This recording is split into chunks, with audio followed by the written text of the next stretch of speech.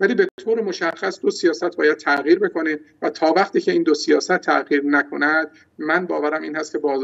که اعتماد به بازار سرمایه باز نخواهد گشت. یکی از این دو سیاست مسئله سیاست ارزی کشور هست که با توجه به اینکه در بازارهای جهانی وضعیت کامادیتی وضعیت مناسبی نیست تا وقتی سیاست ارزی کشور به سمت ارز تک, تک نرخی پیش نرود بعید است که ما بتونیم بحران بازار سرمایه رو کنترل کنیم.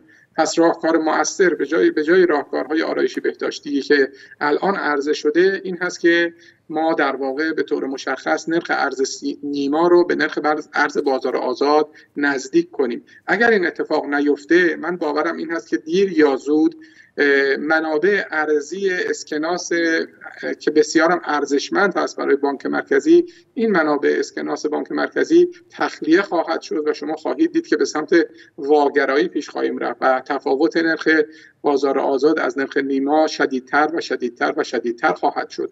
و یک جدی شکل خواهد گرفت. من توصیه اکید می‌کنم به عزیزان یک مقداری با تواضع به سخن افرادی که بالاخره دلسوز هستن و صاحب نظر هستن در این زمینه توجه بکنند اگر نرخ نیما رو به یک چیز حدود سی تومن در شرایط فعلی برسونند شاید بشود که هم بحران بازار ارز رو تا حدی کنترل کرد و هم بحران بازار سرمایه رو.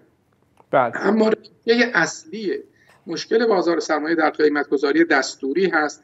من به طور جد با هر نوع راهکاری که فعالان بازار یا مدیران بازار ارائه بدهند و تمرکز رو از مدیریت دستوری قیمت ها منحرف کنه به شدت مخالف هستم. به نظر من ریشه مشکلات در مدیر در در واقع قیمت گذاری دستوری هست و به طور مشخص مدیریت دستوری وزارت سمت هست و تا وقتی که در واقع ساختار وزارت سمت تغییر نکنه طرز فکری که در وزارت سمت هست تغییر نکنه نه فقط اعتماد به بازار سرمایه بر نمیگرده بلکه به طور کلی به نظر من سیاست های اقتصادی دولت متاسفانه احتمالا با شکست مواجه خواهد شد.